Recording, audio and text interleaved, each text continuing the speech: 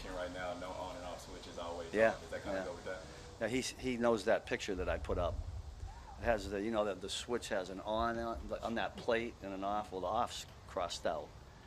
And they, they know when they step on the field. I mean, that's how you have to play. I mean, when you take plays off, we don't get enough of them. We have a lot of walkthroughs. So the, the reps that we do get in the morning, we got to take advantage of, and they got to be full speed. What kind of seen from Felix? Felix? Felix, yeah. Yeah, I feel. I think Felix has gotten a little bit uh, better every day. I think he, there was a couple practices there he struggled a little bit. Um, I think his confidence is better. The last two days he's been pretty good. Like t- today, I thought he made. Yesterday and today, I thought he did pretty good without watching the tape. I thought he had some good plays. Your, your top three linebackers, Bolton, Tranquill, and then Leo. Just role wise, how do you how do you kind of see them this year? Yeah, um, I mean, look, at those are our base linebackers. Those are the three. Then we try to get them in, mix them in there sometimes, and you know, other downs and distances, possible third down. I think all three of those guys are um, have certain skill sets that we would like to use. You know, get them out there. Now, when you got three linebackers in there, you know, somebody's coming out. There's one less DB or there's one less D lineman. So we got to work our way through that. But one of the things we do like being is multiple. And when guys can play different positions, like Leo, he's kind of all over the place. Drew is, you know, and Drew's got to play some Mike linebacker. And yeah, you get to a, you get to about next week. I talked about it with the staff the other day. You got to start thinking about guys in dual roles now, because pretty soon it's not whatever the number is out there, 90. Um, you know, it's not 90 guys anymore, and all of a sudden our number of guys shrinks. So guys are going to have to have dual responsibilities. Are a couple of corners who are hurt right now, so um, Yeah. Kelvin Joseph's getting a pretty good run. What, Yeah. what have you seen from him so far? Yeah, Kelvin. Uh, uh, I, I don't know if you know, he had a baby, so he was gone for a little bit. We lost him there, so he was a little bit behind. He's, he's playing catch up now. He's getting some work with the ones. He made a couple of plays yesterday, uh, so he earned that. But he's going to be right in the thick of the things with the, the other corner. I mean, need three of them. Um, and he's, you know, he's, he's made enough plays, I think, to warrant uh, working with that first group. Steve, with Drew, uh, Tranquill specifically, I know we had this last year, but him and Nick were sharing the field together all, all that frequently. How do you see the dynamic of them both being? You're saying sharing the field out here. Yeah, just Yeah. Drew, Drew and Nick. obviously. Yeah, they listen. The, the one thing about both those guys is they're both very cerebral, very smart. Um, so I think they feed off each other that way. That goes a long way. When uh, I, I'll, I'll bet if you ask D linemen, they tell you that they appreciate the guys that are behind them are really sharp. You know, they they're ahead of things. You know, watch out for this motion, watch out for that shift. They change the D lineman here, and when you got two guys can do that instead of just one, um, I think it makes everything go a little bit like that. And I think the rest of the defense knows that about those two guys and really rely on them. I mean, I'll watch DBs go over and ask Drew and Nick questions about it. It might even be playing DB or something in the defense because they know that those two guys know exactly what's going on. Seems like Bryan Cook has had a pretty good camp. Yeah, we missed him when he got hurt last year. But the one thing about Bryan um, is he goes 100 miles an hour all the time.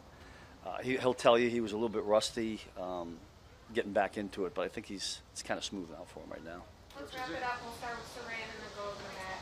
Uh, is, it, is it important, you know, I know you're trying to replace L'Jarius and talked about how tough that is and everything, but do you want a, a one and a two and a three, or, or do you see a scenario where maybe your depth comes into play and it could be matchup driven as to who's that three, or is it important to have kind of that pecking order of where guys are? Uh, well, we know who our number one is, right? We all know that. And we, we're just trying to find guys, and we're going to have to find our next two best players, uh, however that works out. I mean, we know NJ, Nazeeh's work dealing with the with his little injury right now. Josh has been out there. Kelvin, there's a lot of guys mixing in there.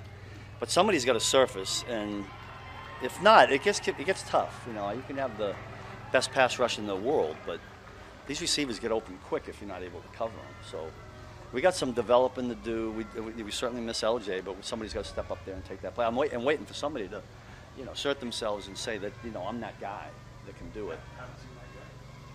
Nah, I, I, we got a little ways to go on that, in my opinion. yeah. When you were telling the guys about having one of the best defenses in the league and then having a disappointing year the next year, Yeah.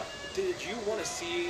Are you seeing what you wanted to see? That fire, that chippiness, and what are other things you want to see? I would say yes on that. Um, I know what you're talking about because I conveyed that to them. I mean, look, we all learn from experiences, and I'm always sharing that with them. And so that was an experience that I went through, and my promise to them was I was going to do everything I could to make sure that didn't happen again. And that kind of began with how we operate and practice. There's, that's the on-off switch, which we've always had. But I just wanted them to realize that just because you can't sit on what you did last year, it doesn't automatically happen. And we got a lot of work to do. Got some. Uh, we're talking about players we got to fill in for, and uh, we got a long way to go before we figure that part out. Go for it, Nate. Trent is so good at just about everything, Steve. Is this Yeah. a period? It's a good statement. Yeah, it is. and it's a true statement. Is this a period or a time where you're asking him to be more aggressive in terms of what you mentioned, you know, the last time we talked to you about takeaways, trying to get your hands on the ball as much as possible? Trent in particular, you said? Or, yeah. Uh, he's got a natural feel for all that. And, I mean, look, at he he's waiting for his first NFL interception, right? I mean, but I told him this before. You know, he got voted, when did he get voted All Pro? By his peers last year.